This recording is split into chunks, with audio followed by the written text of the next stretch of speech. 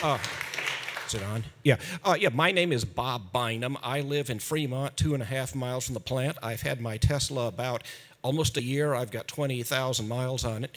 My, uh, my question is uh, how can I get some ideas to the design team? I've got various ideas on how to, uh, uh, that I'd like to incorporate into the Tesla.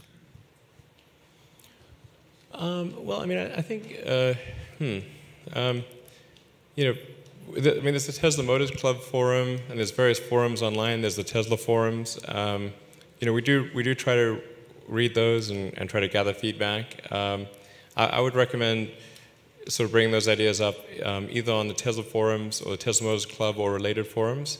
Um, and there are people that try to read those and, and see, okay, what, what is something that is getting a lot of interest from a large number of people? Because obviously, you know, we get a big number of suggestions, um, but we, are trying to, then we have to filter those for what is going to have the biggest impact on people. That's what I'd recommend.